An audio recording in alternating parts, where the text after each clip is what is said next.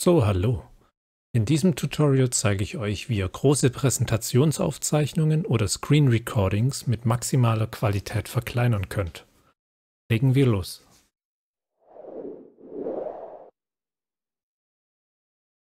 Das Tolle an Präsentationsaufzeichnungen oder an Screen Recordings ist, dass sich in ihnen relativ wenig bewegt. Daher eignen sie sich besonders gut, um noch zusätzlich komprimiert zu werden.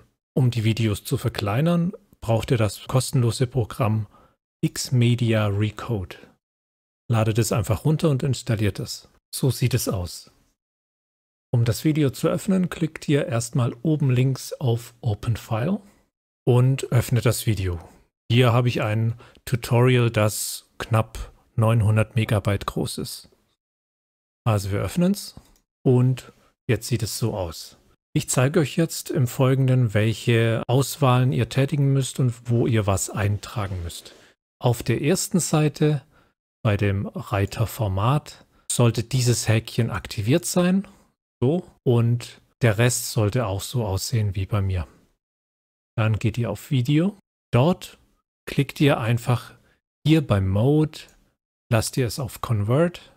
Auf Codec müsst ihr MP4, AVC H264 auswählen. Das lasst ihr unverändert. 4CC lassen wir auch unverändert.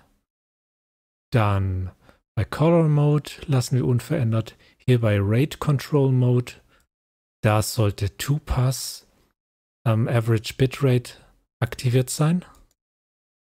Bei Bitrate ähm, reichen normalerweise 500 Kilobit pro Sekunde. Falls euer Video nur 720p groß sein sollte, dann könnt ihr hier auch 300, 400 Kilobit pro Sekunde eintragen. Falls ihr ein 4K-Video haben solltet, dann würde ich hier auf jeden Fall 1000 eintragen. Okay, und bei Profile solltet ihr High auswählen. Bei Level würde ich Level 4 auswählen. Ähm, falls ihr Level 5 oder Level 6 auswählt, dann müsst ihr dran denken, dass manche Videos mit älteren iPhones zum Beispiel dann nicht mehr laufen könnten. Also bei Level 4 seid ihr auf jeden Fall auf der sicheren Seite. Bei Preset sollte hier slower sein, weil damit die Qualität etwas besser ist. Und bei Tune, das ist die wichtigste Sache, da müsst ihr Animation anklicken. Und den Rest könnt ihr lassen, wie er euch angezeigt wird. Dann gehen wir zu Audio. Bei Audio können wir die Bitrate hier anpassen und auf 128 Kilobit pro Sekunde stellen. Und den Rest lasst ihr unverändert. Dann könnt ihr noch hier bei Filters and Preview, könnt ihr euer Video noch zusätzlich verkleinern. Mein Video ist jetzt 1920 mal 1080 groß. Ihr könnt es zum Beispiel auch auf 720p verkleinern.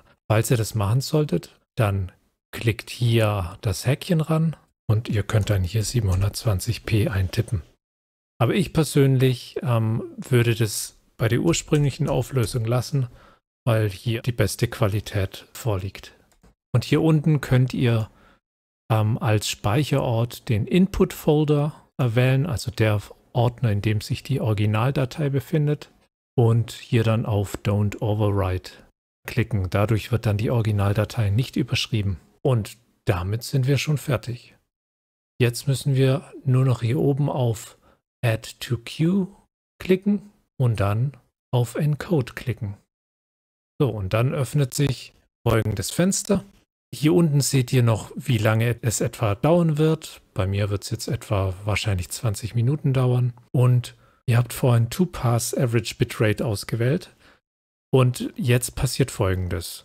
Beim ersten Pass, also beim Durchgang 1 von 2, wird erstmal das Video analysiert und im zweiten Durchgang wird dann die Bitrate ideal gesetzt, sodass minimaler Qualitätsverlust beim ähm, neuen Komprimieren passiert.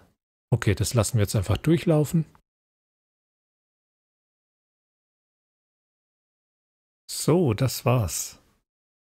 Fertig. Äh, wir können uns jetzt das Video mal anschauen und vergleichen. Also hier ist das Originalvideo und hier ist das konvertierte Video. Und wir sehen, das konvertierte Video ist etwa ein Viertel der originalen Größe. Vergleichen wir die zweimal miteinander. Also hier ist das erste Video. Und hier ist das zweite Video. Wenn wir jetzt einfach mal die zwei miteinander vergleichen, dann sehen wir, es ist kaum ein Unterschied zwischen den beiden zu erkennen. Zum Beispiel können wir auch mal vorspulen und wir sehen, die zwei Qualitäten sind ziemlich identisch. Und bei nur ein Viertel der Größe. Okay, das war's. Wenn ihr dann fertig seid, könnt ihr das Programm einfach schließen und beenden. Gut, dann bis zum nächsten Mal. Ciao, ciao.